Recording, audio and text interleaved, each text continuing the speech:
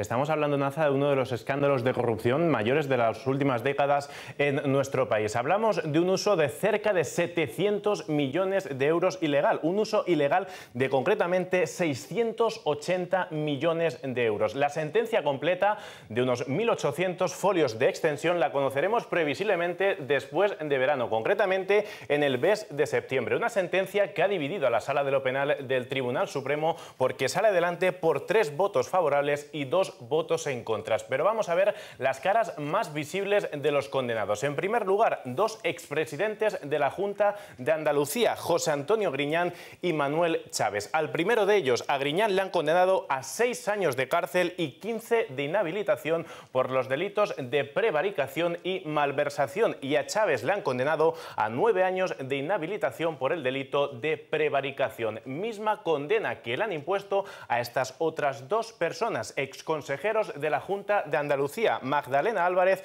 y Gaspar Zarrías. Los dos han sido condenados, como decimos, a nueve años de inhabilitación por el delito de prevaricación. La condena que se le ha impuesto al expresidente de la Junta de Andalucía, Agriñán, le deja tan solo un paso de entrar en prisión, pero su defensa ya ha anunciado que presentará un recurso ante el Tribunal Constitucional y no descartan incluso pedir el indulto al Gobierno.